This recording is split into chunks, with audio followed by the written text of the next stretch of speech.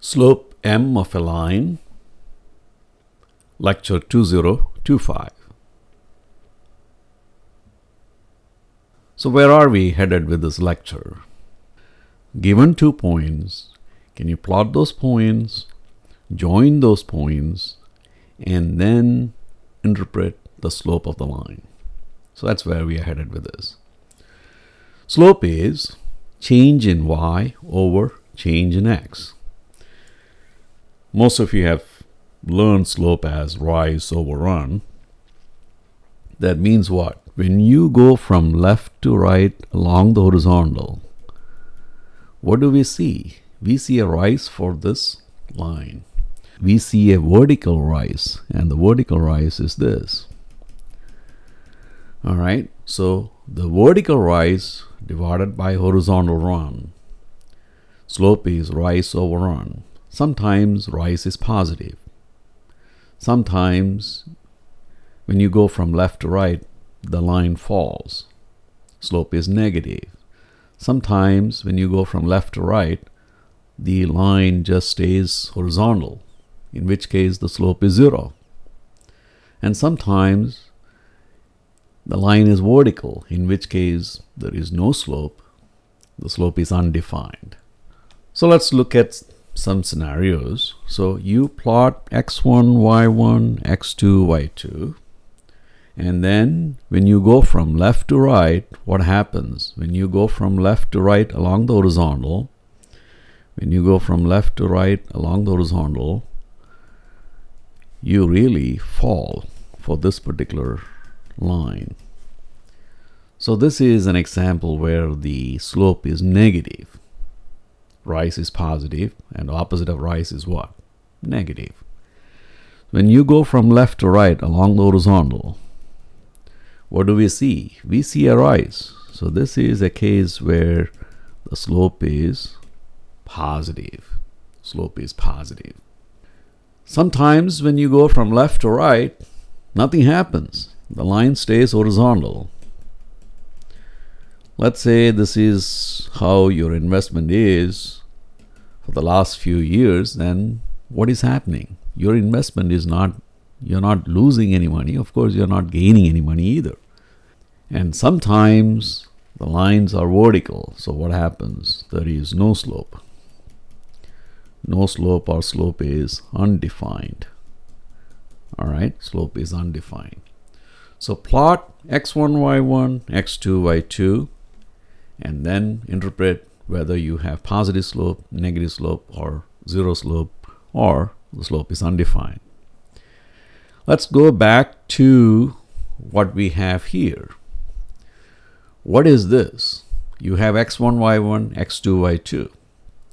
Now, slope is rise over run. Slope is rise over run.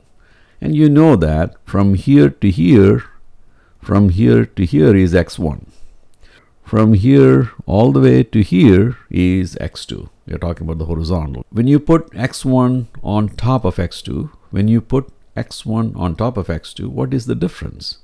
And that difference is this. That is delta x. When you put x1 on top of x2 and cut the difference, what do we see? Delta x. When you put y1 on top of y2, and cut the difference, what is it that we see? We see, we see this, just that, and that is delta y. So you have rise, delta y, run, delta x. So what is delta y? y2 minus y1. Delta y is y2 minus y1. What is delta x? x2 minus x1. And from that, we find the slope. So let's do some examples. All right, example number one. Find the slope if the point, if the points are x1, y1, 1, 2, and 3, 4. So x1, y1 is 1, 2. x2, y2 is 3, 4. First of all, we need to plot those points. 1, x equals 1, y is equal to 2 y is equal to 1, y is equal to 2. So 1, 2 is right there. How about 3, 4? x equals 1, x equals 2, x equals 3. And then y is equal to 4, y is equal to 1, y is equal to 2, y is equal to 3, y is equal to 4. So join those two points. When you join x1, y1 and x2, y2, what is delta y? And what is delta x? You agree that delta y is equal to 2. You agree that delta x is equal to 2. So what is the slope? Delta y over delta x and that is 2 over 2 2 over 2 and that is 1 2 over 2 and that is 1 so let's apply the formula and see slope is y2 4 y1 2 x2 3 x1 1 so it is 2 over 2 which is 1 slope is 1 so this is what I did. Slope is 1 here is our point x1 y1 and here is our point x2 y2 x1 y1 x2 y2 join those points. You have the rise and you have the run. What is the rise? Change in y what is delta y? 2 what about change in x? Delta x 2 2 over 2 1 slope is 1 let's now look at example number 2 what is our point? negative 1 negative 2 and what is x2 y2 negative 3 negative 4 negative 1 negative 2 negative 1 negative 2 so you have x1 y1 how about x2 y2 negative 3 negative 4 negative 2 negative 3 x equals negative 3 y equals negative 4 negative 1 negative 2 negative 3 negative 4 so can you join these points? And when you join those two points what do you see? Delta y is 2 how about delta x? Delta x is also 2 so what is slope? We expect it to be 2 over 2 and that is again 1 so let's apply the formula. Y2 y2 m is equal to y2 minus y1 y2 negative 4 y1 negative 2 x2 negative 3 x1 negative 1 so this is negative 4 plus 2 divided by negative 3 plus 1 negative 4 plus 2 is negative 2 negative 3 plus 1 is negative 2 so you get 1 so that's what I did here. You plotted x1 y1 green x2 y2 red. All right so you have x1 y1 and x2 y2 and then you look at the slope. Slope is y2 y2 minus y1 y1 y1 y1 y2 minus y1 divided by x2 x2 x2 x2 minus x1 x1 x1 x1 what is negative 4 minus negative 2 it is negative 4 plus 2 so we have that and negative 3 minus negative 1 is negative 3 plus 1 and negative 4 plus 2 is negative 2 have negative 3 plus 1 negative 2 so negative 2 divided by negative 2 is 1 example number 3 0 5 and 5 0 0 5 x equals 0 0 1 0 2 0 3 0 4 0 5 0 5 and 5 0 5 0 1 1 x equals 2 x equals 3 x equals 4 x equals 5 So join those two points and you have the line. And what is the slope? When you go from left to right, what happens? When you go from left to right, what happens? You really fall. Negative 1, negative 2, negative 3, negative 4, negative 5. So you have negative 5. What about the run? 1, 2, 3, 4, 5.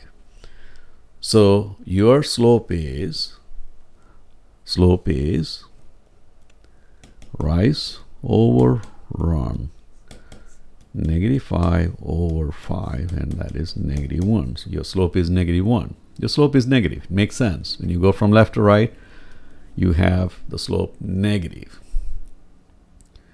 So plot those points join those points you have the line now you know what is the slope. Now let's apply the formula.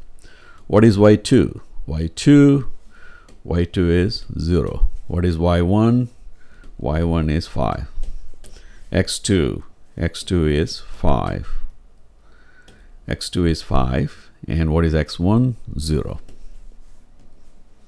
so you get negative 5 over 5 and that is negative 1 so that's what I did here. You join those points and you have the line.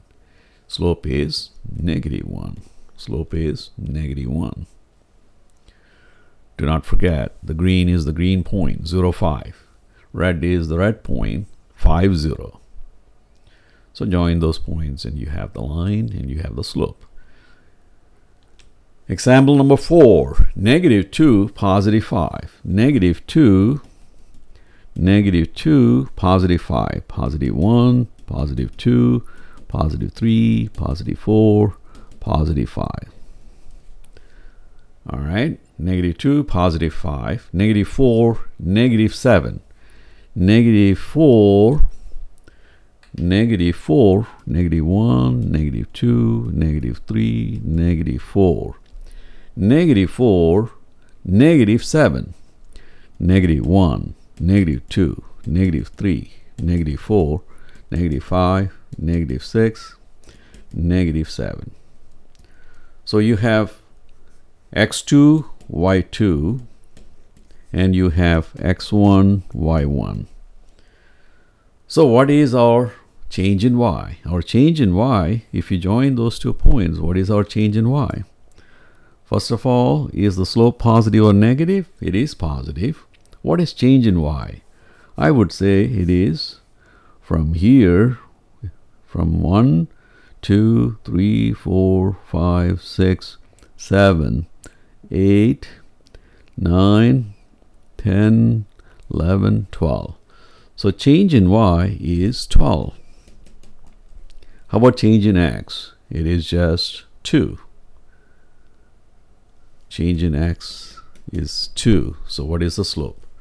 So slope is change in y over change in x and so it is 12 divided by 2 and so it is 6. So let's apply the formula. m is equal to y2. y2 is negative 7 minus y1, 5, divided by x2, negative 4. x2 is negative 4, x1 is x1 is negative 2. So this is negative 12 divided by negative 4 plus 2 so this is negative 12 divided by negative 2 and that is positive 6. Negative divided by negative is positive. So you get slope is equal to 6. So that's what I did here. All right. So what is our rise? 1, 2, 3, 4, 5, 6, 7, 8, 9, 10, 11, 12. And what is our run? 1, 2. So what is the slope? Rise over run. So m is equal to rise over run and that is 12 divided by 2 which is equal to 6. Or apply the formula and you get the same answer 6. Example number 5. You have negative 2 positive 5. Negative 2 positive 5. Negative 1 negative 2 positive 1, positive 2, positive 3, positive 4, positive 5. Negative 2, positive 5, negative 2, negative 7. Negative 2, negative 7. Negative 2 is x equals negative 2, x equals negative 1, x equals negative 2. Negative 7, negative 1, negative 2, negative 3, negative 4, negative 5, negative 6, negative 7. So when you join those two points, it is a straight line. It's a vertical line. It should have no slope. So it is a vertical line, no slope. What do you expect? You expect the slope to be undefined. You're going to get x2 minus x1 equal to 0. So let's substitute the numbers. y2. y2 is negative 7. And what is y1? 5. So negative 7 minus 5 becomes change in y. How about change in x? Negative 2 minus negative 2. And you know this is negative 12 divided by negative 2 plus 2. And that is negative 12 divided by 0. And slope is undefined. Slope is undefined. So that's what I did here. Slope is undefined or no slope. Example number six, negative 2, positive 5, negative 1, negative 2, positive 1, positive 2, positive 3, positive 4, positive 5. Negative 2, positive 5, and negative 6, positive 5. So negative 1, negative 2, negative 3, negative 4, negative 5, negative 6, negative 6, positive 5, positive 1, positive 2, positive 3, positive 4, positive 5. Join these points and it is a horizontal line. So you expect change in y to be equal to 0. So let's go back to our formula. What is y2? 5.